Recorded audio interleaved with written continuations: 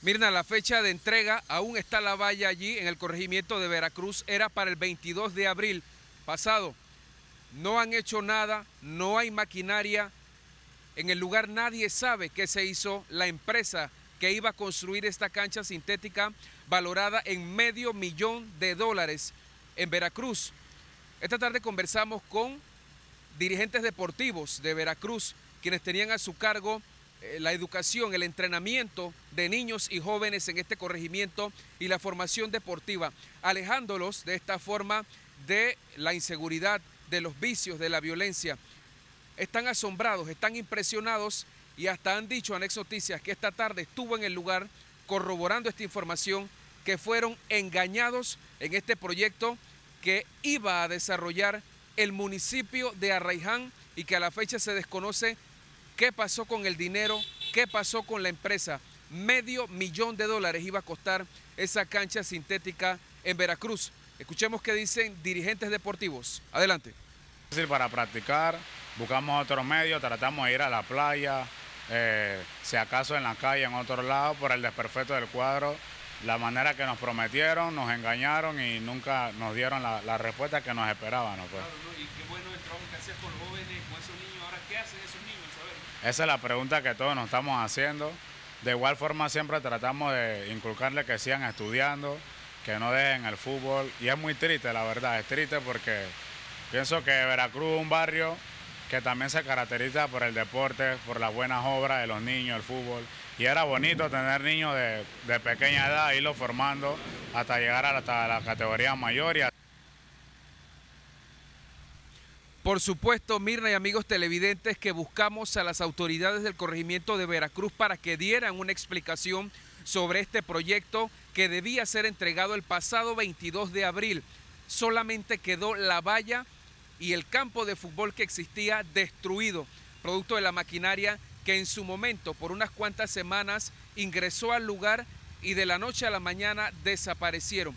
Vamos a escuchar qué dice el representante del corregimiento de Veracruz, donde asegura que este proyecto es del alcalde de Arraiján y que cuando realizó la entrega de orden de proceder estuvo acompañado de copartidarios y no se supo más nada sobre esta obra. Adelante.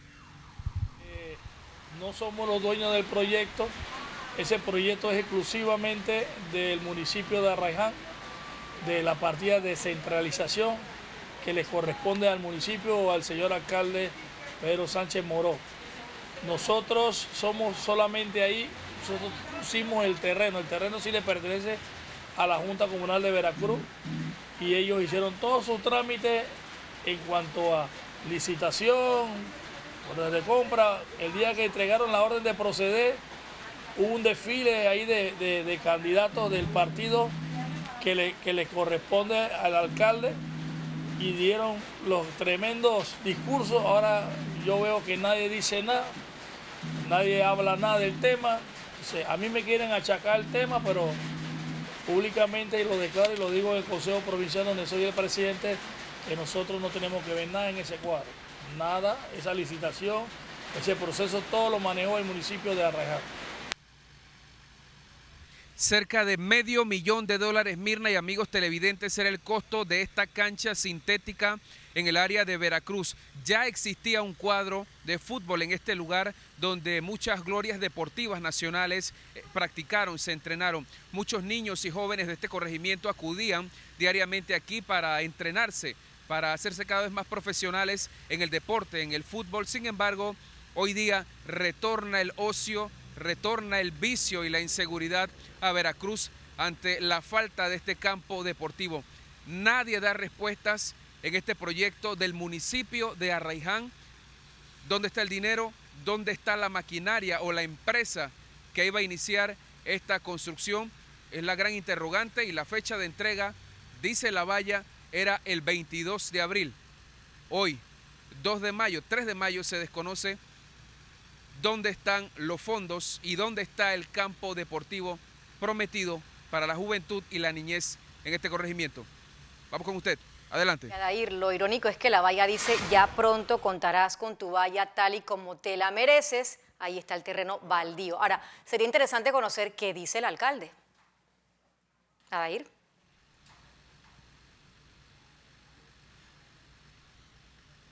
Claro que sí, Mirna.